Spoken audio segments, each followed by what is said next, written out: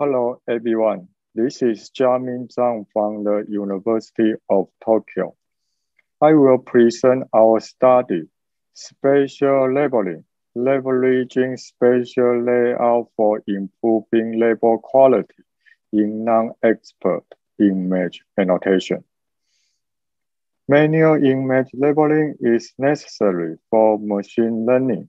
However, it is a label-intensive process not often recruit non-expert annotators to do it.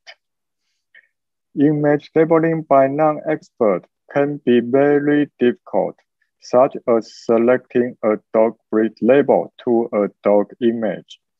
And it may contain many errors because non-expert has insufficient domain knowledge.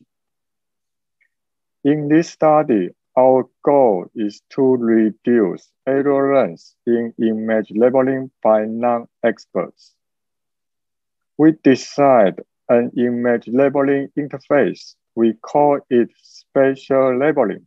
In this interface, we propose to leverage spatial layout as a temporary working space during annotation.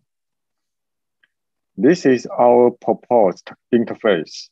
The center is the image needs to be labeled and the two sides are labels. User needs to select an appropriate label from the two-side label list to the image. Now I will show you a demo video. In this interface, an open space is provided.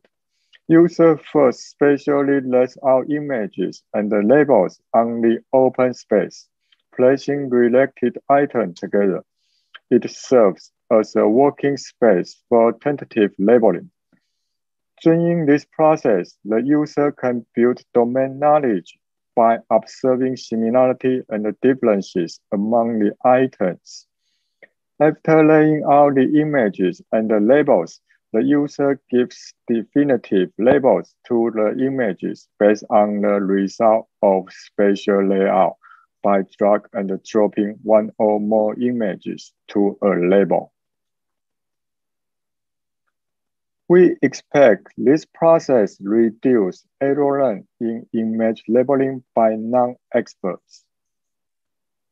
We run a user study to compare a traditional non-spatial layout and our proposed spatial layout interface in an image labeling task. The labeling task is to label 50 dog images by selecting an appropriate labels from a 20 dog breed list. The left video shows how did the user work by the traditional labeling interface. And the right video shows how did the user work by our proposed interface.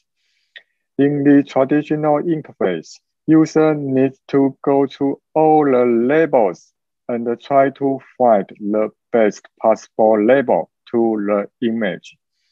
However, in our spatial layout interface, users are allowed to organize concepts of labels and images on the open space before selecting a label for an image. We measure the time and error rate of the labeling task completed by the participants. The results showed that the task completion time difference was not significant between the non-spatial layout and the spatial layout labeling interface. However, the error rate in the spatial layout labeling task was significantly lower than the non-spatial layout labeling task. The main contribution from this study is that our spatial layout interface can reduce error errors in non-expert image annotation. We believe that this has presented significant insights for manual image annotation. It is because our proposed method can get better results only by tweaking user interface without increasing cost. Please read our paper for more details. Thank you.